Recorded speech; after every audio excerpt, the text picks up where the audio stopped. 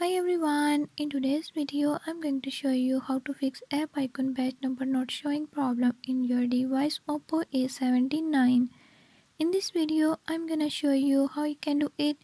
Before move to the video, if you are new to my channel don't forget to subscribe and hit the bell icon. Watch complete video and learn how you can do it. Let's watch the video.